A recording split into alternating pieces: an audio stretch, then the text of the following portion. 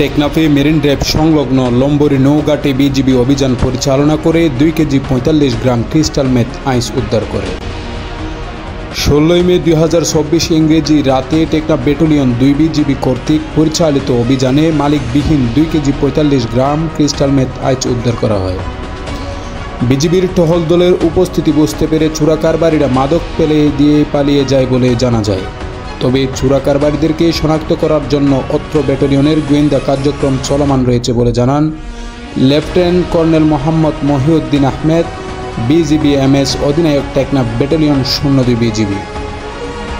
মোহাম্মদ সুহেল, স্বাধীন সংবাদ, টেকনাফ।